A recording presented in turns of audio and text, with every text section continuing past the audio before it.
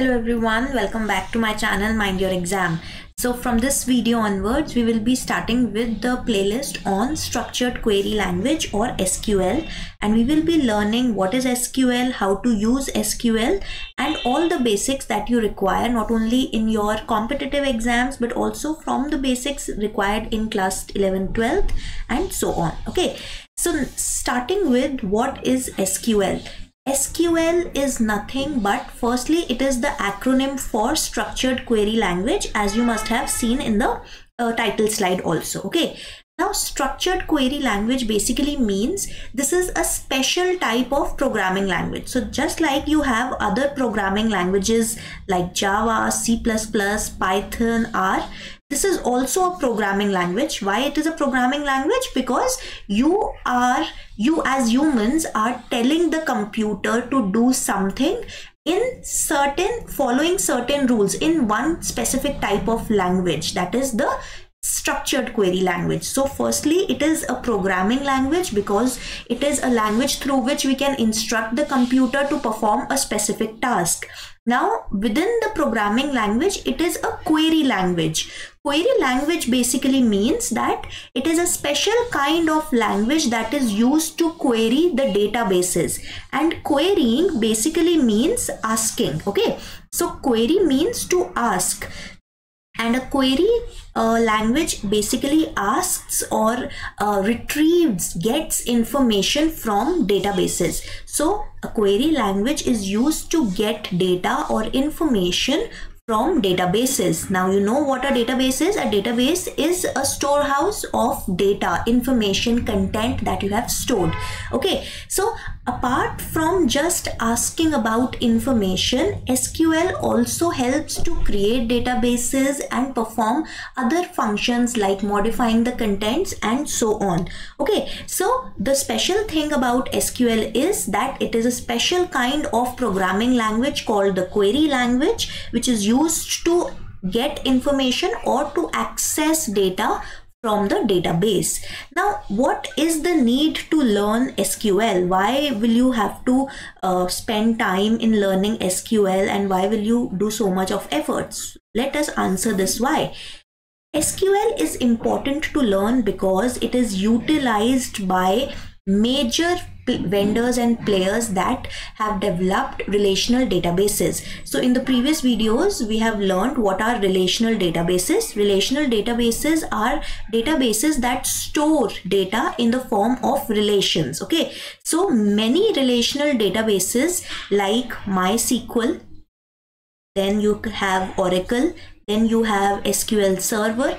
All these are databases that use the structured query language to access their databases and retrieve information, perform uh, various other functions that are related to the database management. Okay, so the third prominent database that uses this uh, particular structured query language is SQL Server. There are many more. Uh, you can remember these three names that would be sufficient for your knowledge. So firstly, why we have to learn SQL because most of the popular databases like MySQL, Oracle, SQL Server utilize this uh, structured query language to access, modify and create their databases.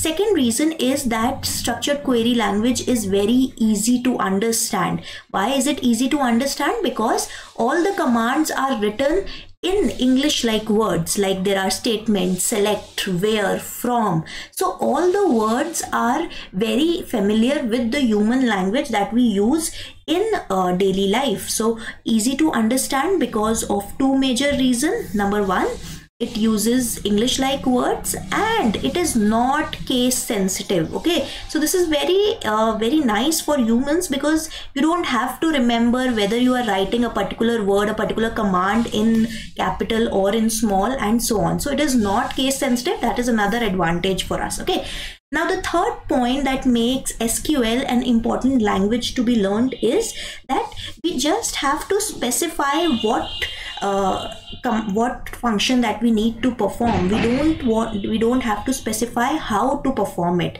So using sql you just have to specify what has to be done whether you want to retrieve particular kind of data of a student. So you'll just give the command uh, select uh, name of the student from this particular table or relation of the database. Now internally how SQL will do it is not your concern. So you do not specify how things have to be done. You just specify what has to be done. Okay. So you can leave all the details to the SQL only. Okay.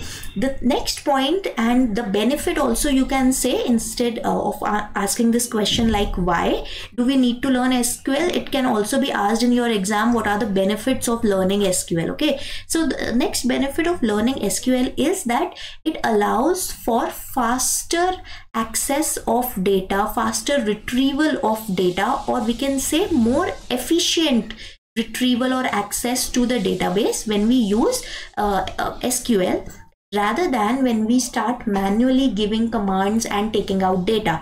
So SQL makes it very quick, very fast and helps us to get all the information that we want now uh, you must remember that sql is not only uh, you know though it is called a query query language it is not only a query language okay? So you what you can do just let me change the screen. Let's go back to a new screen.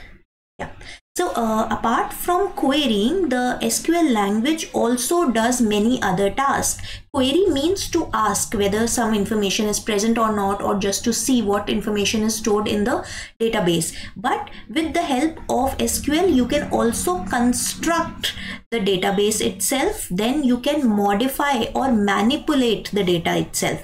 So first you can create the data, construct or create the database. Now this involves specifying what will be the structure of the data how many tables will be present okay specifying how many relations will be present what will be the structure of those relations then what would be their name then what will be the constraints on these uh, relations and so on. What is their structure what is their constraints how the data will be organized whether there are any limitations on the kind of information like the data types and so on then modify means to change the values, to add new values once the data is stored or to delete even the values that are already stored. So apart from just querying, the SQL allows you to create the database to modify the contents that are stored in it.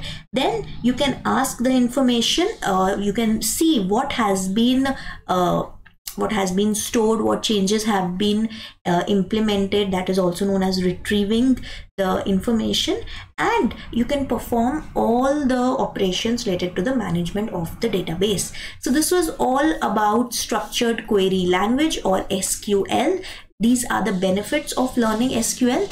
Basic commands we will be starting in the next video. So stay tuned. Thank you for watching. Till we meet in the next video. Mind your exam.